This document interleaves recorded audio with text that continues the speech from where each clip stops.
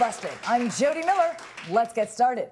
In terms of economic growth and getting its deficit under control, Canada has been succeeding where America has not. Of course, Canada has an unfair advantage. There's no Democratic Party there. A group of Muslim extremists in Egypt have decided to form a new Nazi party, or, as liberals will call it, a different but legitimate cultural expression. Europe is still dealing with all of the ash pollution from the Icelandic volcano.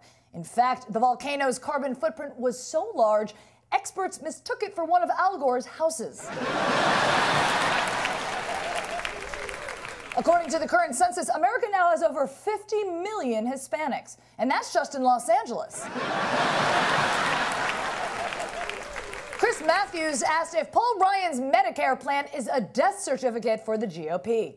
Hey, Chris, Medicare is a death certificate for Medicare. Facebook CEO Mark Zuckerberg says that he only eats things he has killed himself which means his diet consists of heaping portions of MySpace. Lindsay Lohan began her house arrest. Apparently, she's only allowed to leave for essential duties, like nightclubbing, drunk driving, and shoplifting.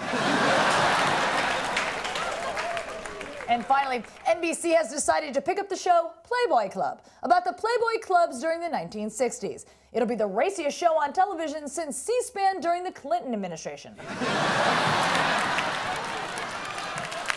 Thanks for watching News Busted, everybody. I'm Jodi Miller. Make sure to tell your friends about us. We'll catch you next time.